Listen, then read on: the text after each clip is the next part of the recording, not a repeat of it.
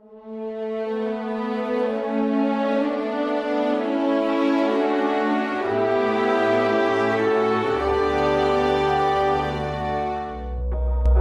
soy el camino y la verdad y la vida.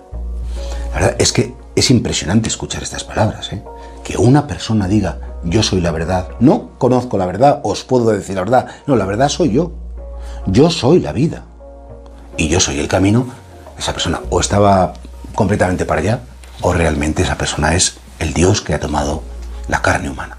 Fijaos qué bonito que Jesús dice esto porque los enemigos del ser humano, creo que lo comentábamos hace unos días, son siempre, uno, la maldad, dos, la mentira y tres, la muerte.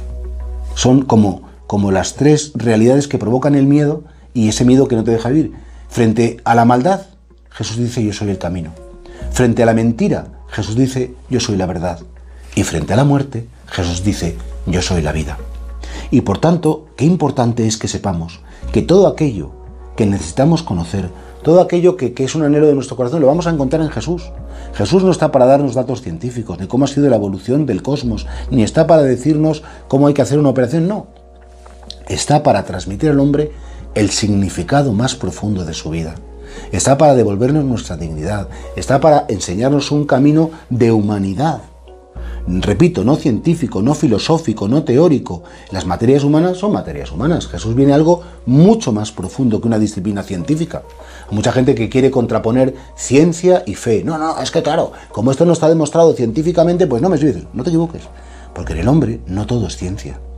Una madre para, para, para vivir y amar a su hijo no necesita hacer ningún máster, necesita hacer ninguna carrera para, para entregar la vida por un hijo. Porque hay unas categorías vitales que son mucho más profundas. Por eso, ¿qué significa para ti que Jesús sea camino?